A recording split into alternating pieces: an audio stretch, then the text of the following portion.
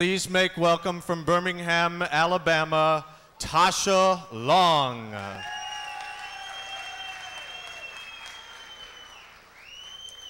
Hello, Tasha. How are you feeling? I feel wonderful. How are you? Great. I'm going to read the question twice to you. You have two minutes to answer it, all right?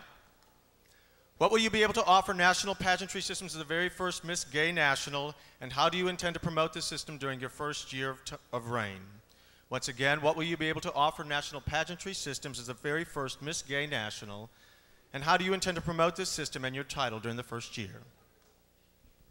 Good evening, ladies and gentlemen, and judges. For your consideration, my name is Tasha Long, and I'm your contestant number 12.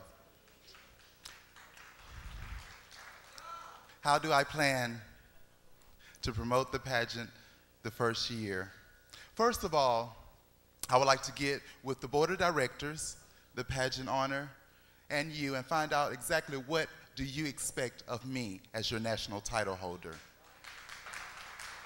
Then I can only offer you from my heart what I call the three D's in life determination, dedication, and dependability.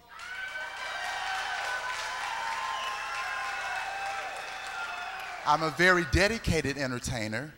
You can depend on me at all times. And I love each and every one of you. Also, there's something I've always wanted to do as a national title holder, and that was to start a platform. There's something that we overlook sometimes. We as female impersonators take this very seriously as our jobs. I'm fortunate enough at Club 21 to have dental insurance and hospital insurance.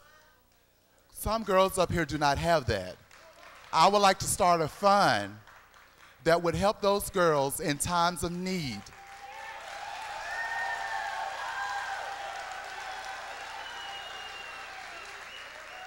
This would help those girls in times of need to bring them back to where we want them to be, and that's on stage, entertaining each and every one of you. So, in doing so, not only would I be promoting myself, but I'll be promoting the national pageantry system and giving you something more than just myself love, dedication, and determination. Thank you. Ladies and gentlemen, Tasha Long.